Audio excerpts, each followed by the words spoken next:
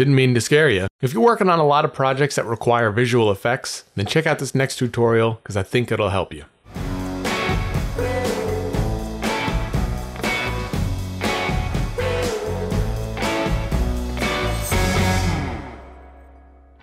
In this tutorial, we're going to show you how to add a terrifying touch to your footage of a zombie attacking the camera and making it look like the glass in front of it shatters into pieces using the AE Juice plugin Broken Glass. If you're interested in these plugins and you want to take your footage to the next level, then check out the links in the description. So grab your popcorn and follow along. Let's dive into it. Downloading the AE Juice Pack Manager, so I'm just going to install the software here for After Effects. You have the choice of Premiere Pro or Final Cut.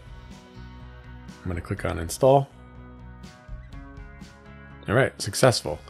Now I'm going to close this and I'm going to open up After Effects. And if you go to Window, Pack Manager, then a window would pop up. Put that right there.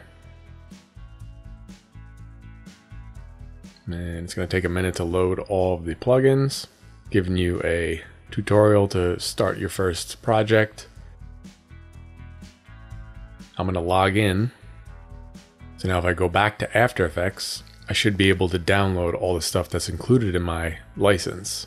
So if I click on this, uh, import and create comp, double click on that, and you can see it creates the comp.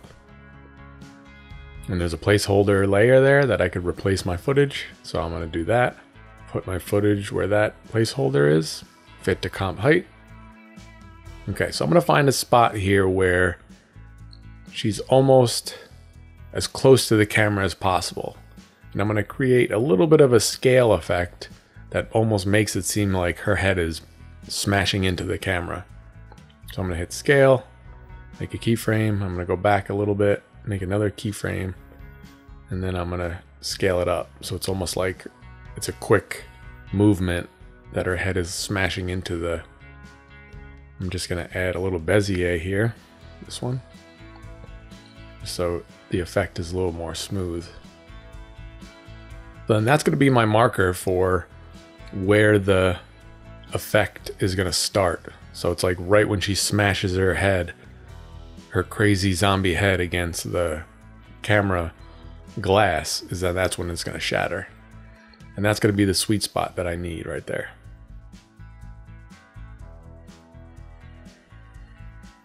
Right where I added that scale positioning, that's basically what I want to do. Now we're at the right spot there. I'm going to add a little bit of blood to this. If you want more blood effects, then the AE Juice has you covered. So I'm going to add this clip here is that it's going to be as soon as she smashes her head against the glass, that's when the blood shows up. So it's really about finding the right timing here. Right about there. Now let's add some zombie ambiance. Some zombieance, as I would call it. Throw some zombie sound in there. I'm going to throw that in.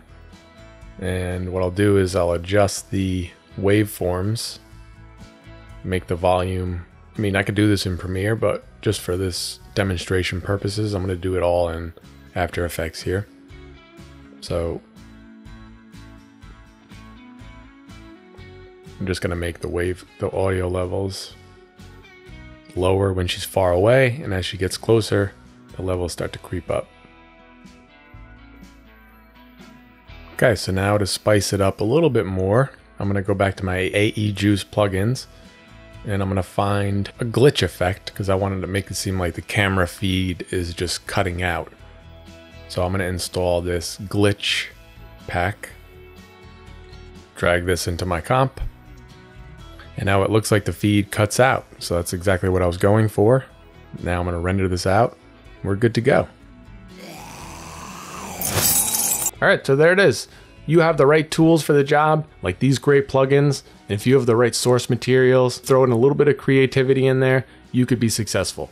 So that's it for today. Hope you like this video. Subscribe, like, comment below, and if you want any more videos like this, check out our other videos. Have a good one.